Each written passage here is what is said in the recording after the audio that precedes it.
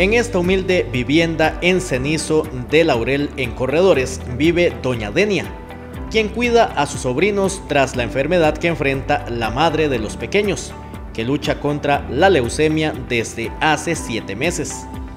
Esta familia tiene muchas necesidades, pero este fin y principio de año lo pasaron diferente gracias al Team Fronterizo, un grupo de amantes de los motores que se unieron para ayudar a estas personas.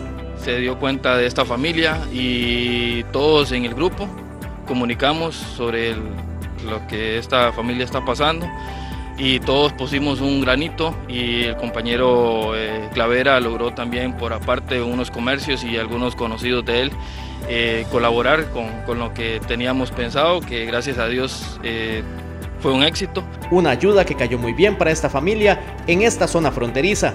Y se le agradece y gracias a Dios que también vinieron con buena voluntad a traerle comidita a los niños. El Team Fronterizo se caracteriza por colaborar y ya suman varias causas donde aportaron su ayuda. Hace poquitico a una familia de ahí, el sector de Laurel, se le colaboró también con, con unos víveres.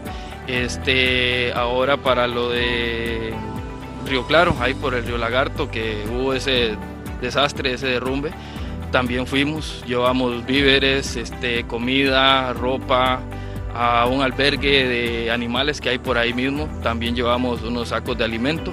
Fiebres de los motores y que aportan a las buenas causas.